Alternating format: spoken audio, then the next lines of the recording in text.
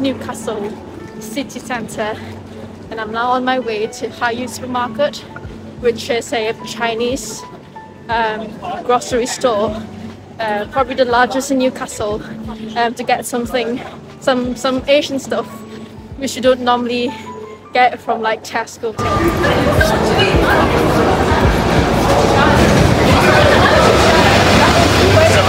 still quite crowded and you're literally at the like heart of this of the town anyway so it's it's uh, it's highly unlikely that you'll be walking alone on the streets at this time.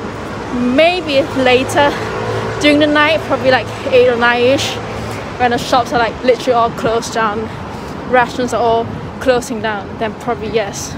But at this time because it's like tea time so lots of like youngsters teenagers or like university students they're all out here for like a quick meal or like for dinner. And especially today's friday. Um, there's just no reason to stay in, to stay in isn't it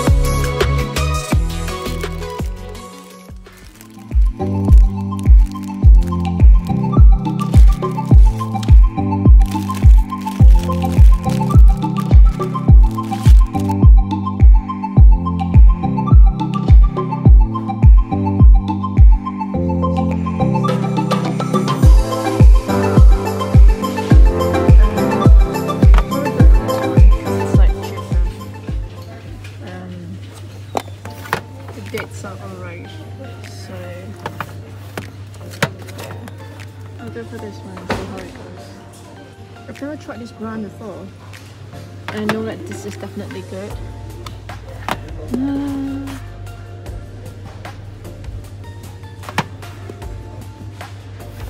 I'll go for this one see